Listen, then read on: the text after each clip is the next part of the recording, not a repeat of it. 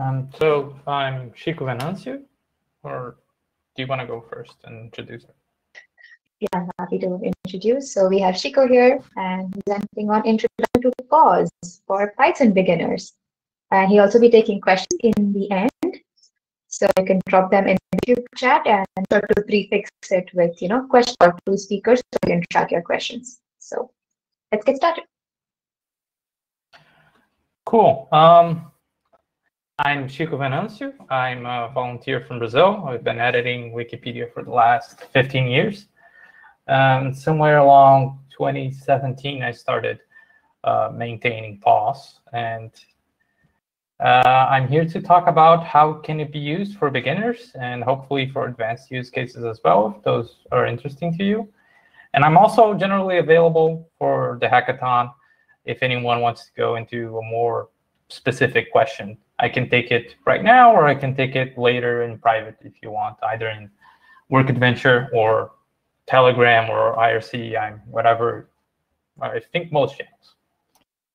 So get into PAWS. Um, why was it created? Um, Yuvi was one of the main uh, drivers for this, and and PAWS is a very oriented to um, ease the way that Wikipedians and Wikimedians can use more advanced tools, can use bots and scripts to do their edits and, and get things to work. We have other alternatives uh, like ToolForge and Cloud VPS for that. Before we, ha we had Wikimedia Cloud Services, we had Toolserver. And you can always do the same things that you do on PAWS on other cloud providers or other notebook providers notebook providers, we have Colab, we have mybinder.org, um, and you can always just spin something up in AWS or Azure or, or GCP or wherever you want. But that does take effort. That does mean you need to understand how these things work. You need to get used to that environment. And usually that means using the command line in a at least medium way. It, it's not easy for everyone. And for PAWS, it's just there. You already have authentication with Wikimedia Wikis. Uh, you can just start coding right away. If you don't know how to code, you can even just copy something that someone else wrote and just change it to be for your wiki, just translate the strings. So it's a lot easier. You're trying, we're trying to reduce the command line tax to get people to use advanced tools for wikis. Um, so starting up ToolForge, which is the easiest of all those alternatives, um, means you have to set up, uh, it, it's possible for experienced programmers, but it means you have to set up a developer account for Wikitech. Uh, you need to set up an SSH key. You need to upload that to Striker. Um, you have to learn what is the job grid and Kubernetes, or Kubernetes. I mean, one of those is fine. Um, and for Cloud VPS, you have to do second factor authentication. And there are there are still weird edge cases, uh, though they've been improved a lot in the last few years by the cloud team. Uh, for PAWS, you just go to the web page, you sign in with your Wikimedia account. That's it. You can start a notebook, you can start to code immediately. And everything that you do there is already open access, and anyone can access it under the public PAWS page. Um, one thing uh, that kind of shows this is that PAWS has now 3,487 users that have ever used PAWS, while ToolForge had 2,150. I mean, obviously, ToolForge users, the medium, the average ToolForge user, is more active on ToolForge than the, the PAWS user is active on PAWS.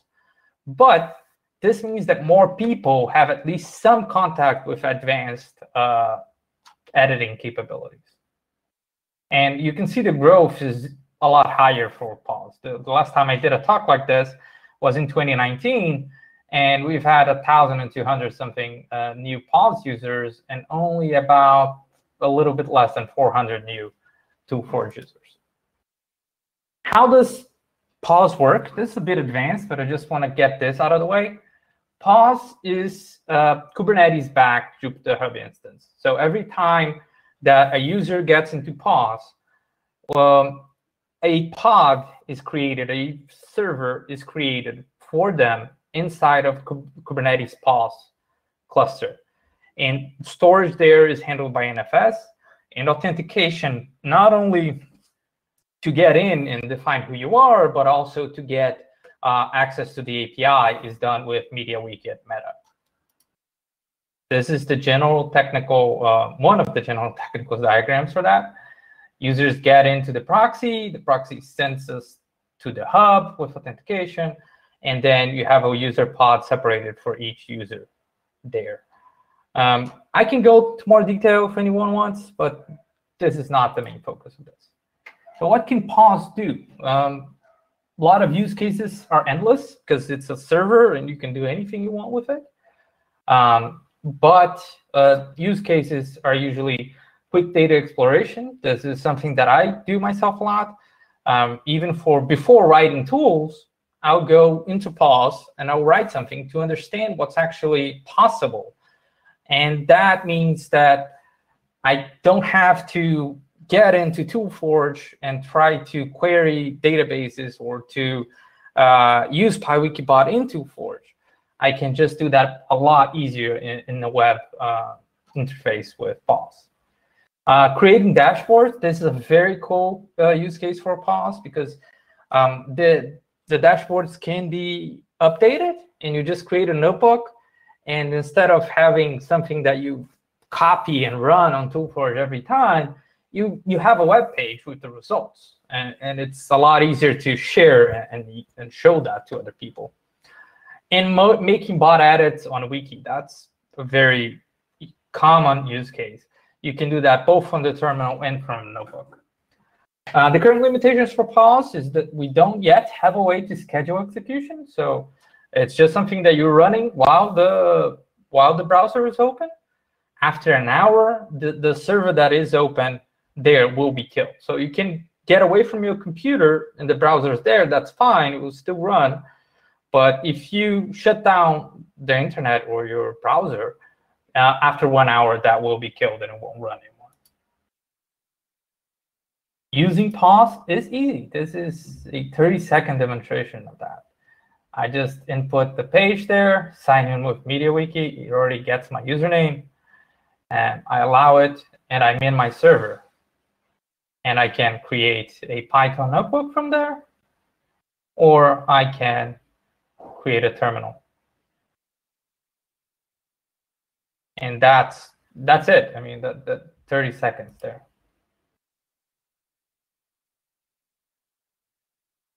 forking in PAWS is almost easy. Hopefully we can get something a little bit better on this hackathon. But as I said, and as can hopefully be seen over here at the end of the video, once, once we create a notebook, we immediately get this public link over here. So this is just a link to the PAWS public uh, instance with this notebook. Even this empty notebook will be there. Um, and forking means that you can actually go to this public link for other users and then download the notebook and upload it into your own PAWS server. So this is the workflow for that. You go into the public link, um, you add format equal raw at the end of your URL, and then you can save that. And I have almost here exactly because it's not as easy as we wanted to make. So um, choosing one notebook here, um, my first notebook. And I can kind of show that just adding the format raw. And you can save. Yeah, Windows messes with the extension, so you need to save as all files there. And then we have notebook locally, and I can upload that to my PAWS server.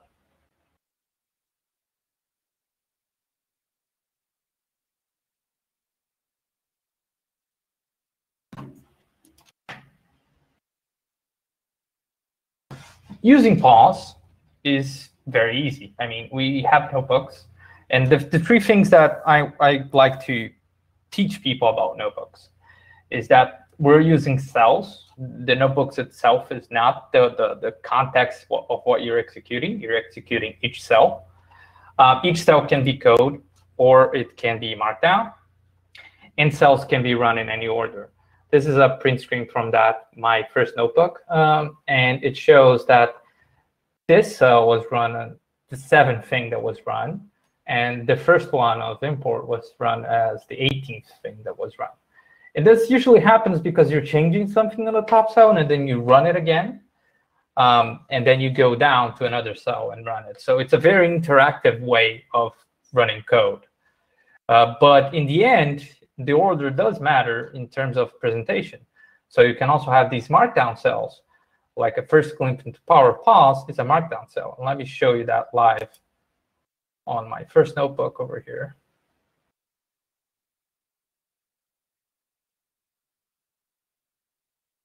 So this is something that I forked, and you saw the video of me forking this a few minutes ago. Um, and as you can see, this is a markdown cell, and I can double click it to have it as a raw markdown.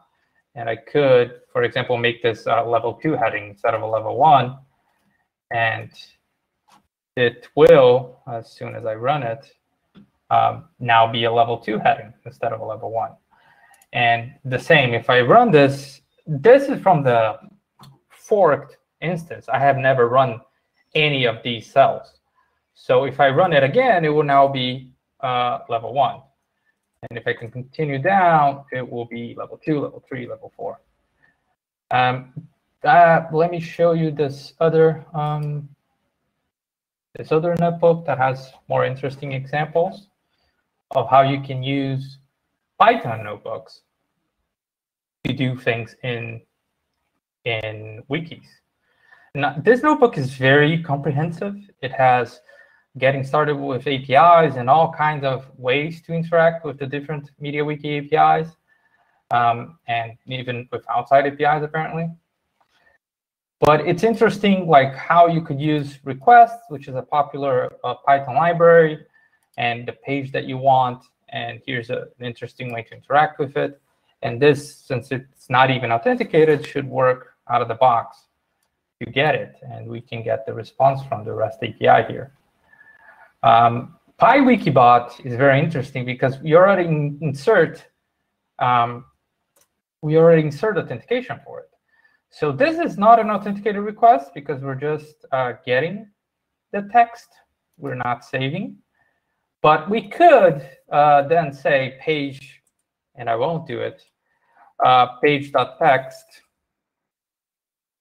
equals something else,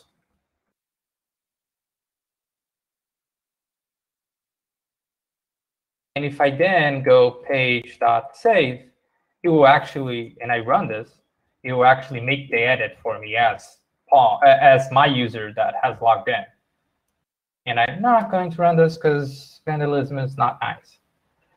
But as you can see, it's a very interesting way, and it's the most common way that I use uh, PAWS and PyWikibot.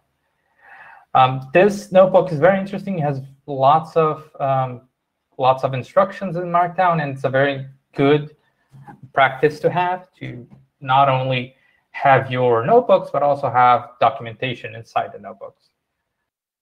And let me go back to that table of contents.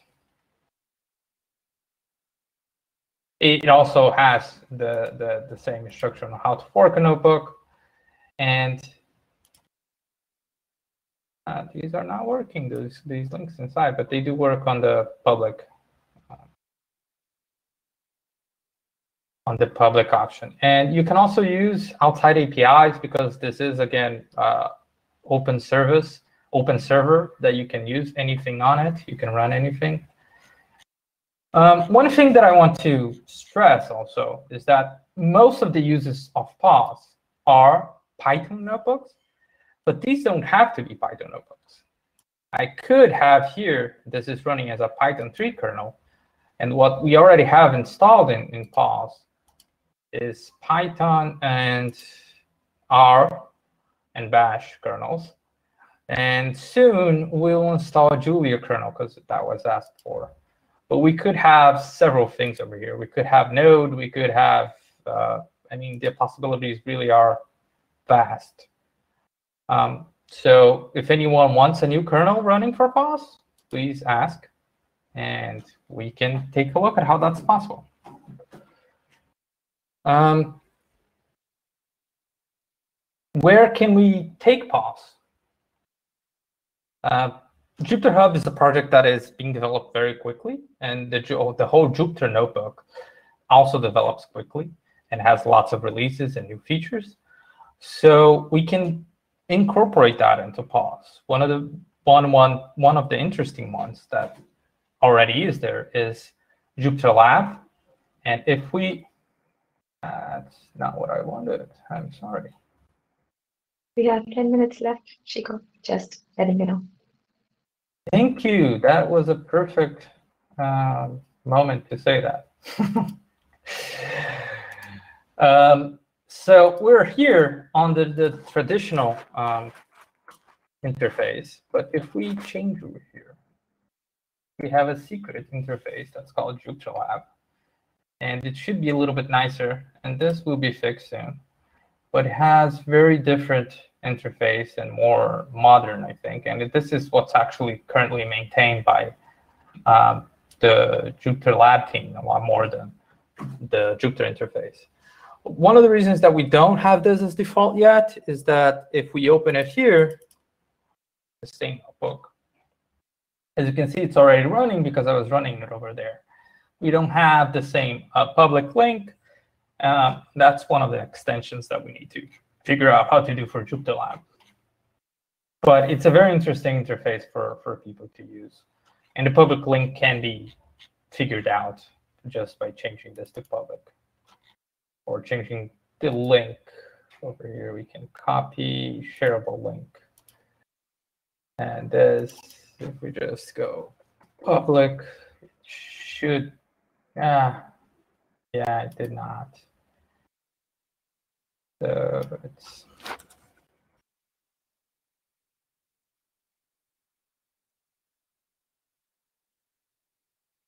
yeah, there's some URL hacking there to get it that's the main reason that we haven't switched yet, but it's a nicer interface overall. Um, so as I mentioned, adding new languages to be used is very, uh, possibilities are very vast. We probably add Julia, hopefully by the end of the hackathon. And the, I mean, it's just a very long list of possible kernels over here. Um, we're not adding them because maintaining this is not free, um, not free of effort. So whenever we have a request, we'll probably add it. Um, we also need some extensions that could be used to solve these issues. I mean, allow scheduling of executions has been a dream of mine for a few years. Um, drafts and publishing would be nice as well to have. Um, Jupyter Notebooks have, by default, a a versioning system that is being marked as checkpoints, and we have the, all the versions of the previous versions of the notebook also stored. But a way of um, presenting that to all the users would be very nice. So kind of like have drafts and publishing so that the public could have a more uh, polished view of the notebooks. And have some kind of source control like Git would be very nice as well because right now it's kind of hard to even for advanced users to understand what's going on on the versions of their notebooks. Um, were there any questions for for me? This is the end. Not yet. I don't see any questions, but people are feel free. Just feel free to ask any in the YouTube chat. I also have the YouTube chat open, so I can respond to anything. And, well,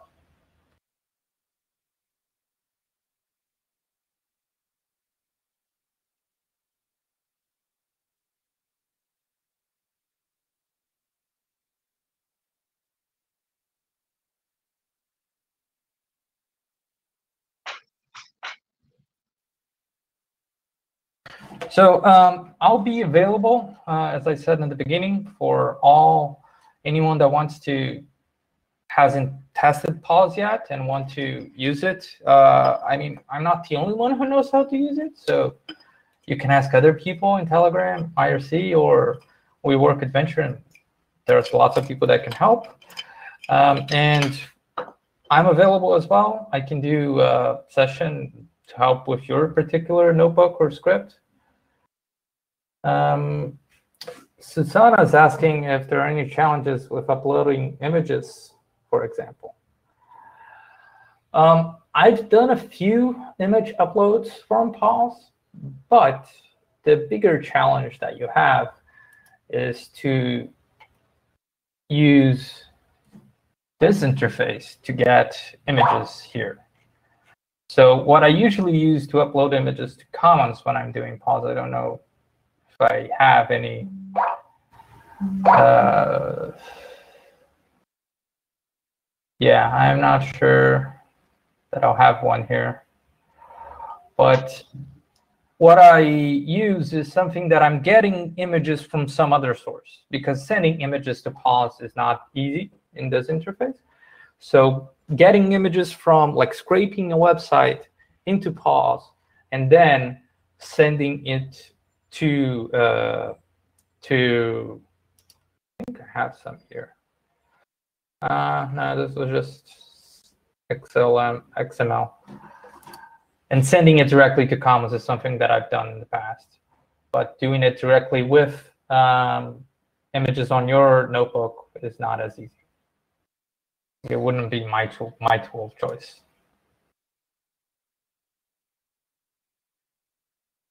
Any other questions? I mean, there's only three minutes left, I think.